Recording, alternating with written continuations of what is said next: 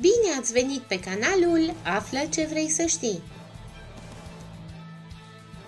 Ana Maria Prodan a intervenit în scandalul momentului și a luat apărarea lui Ciprian Marica. Impresara a dezvăluit ce i-a transmis fostului atacant al naționalei în cadrul unei emisiuni.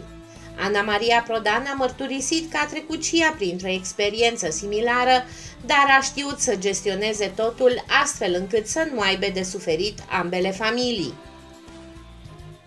Eu cred că în viața privată a cuiva nimeni nu are dreptul să se bage. Nimeni nu știe ce relație are această doamnă cu soțul său dacă mai sunt împreună. În viața asta nu pot să fiu de acord cu cei ce filmează în privat și dau pe post sau la ziare. Eu am trăit o astfel de experiență care mi-a făcut să spunem între ghilimele rău. Eu și prietenul meu am știut să o gestionăm, la fel și familiile noastre, a spus Ana Maria Prodan. Știți foarte bine că în România, dar și în lume, femeia este blamată. Ciprian trebuie să rămână un idol al femeilor.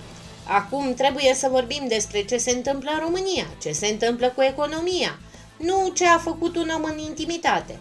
Nimeni nu are voie să arunce cu piatra. Marica e un idol și un fotbalist care a făcut istorie. Viața lui privată e a lui și a familiei. Să faci o telenovelă din această întâmplare e o răutate dusă la extrem. Noi, prietenii, știm când s-a întâmplat – Oamenii care citesc poate cred că a fost săptămâna trecută, dar a fost cu mult înainte.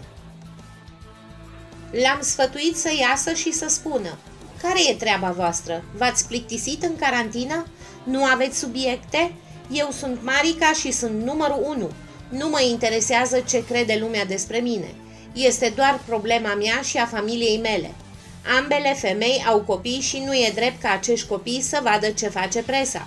E păcat că trăim într-o țară în care toată lumea poate face orice și poate călca în picioare demnitatea oamenilor.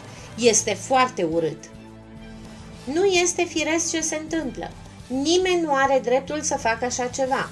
Rău faci, rău o să găsești mereu în viață. Marica are viața lui privată. Nimeni nu are dreptul să o atingă. Oricine poate să te filmeze în intimitate și să dea prin ziare. Nu este normal așa ceva. Nimeni nu ne dă voie să judecăm. Doar Dumnezeu judecă și doar Marica și familia cealaltă știu ce a fost acolo.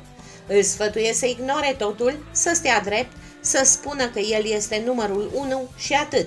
În rest, cei ce fac așa ceva sfârșesc săraci și miloci, iar el va rămâne mereu sus și mândru.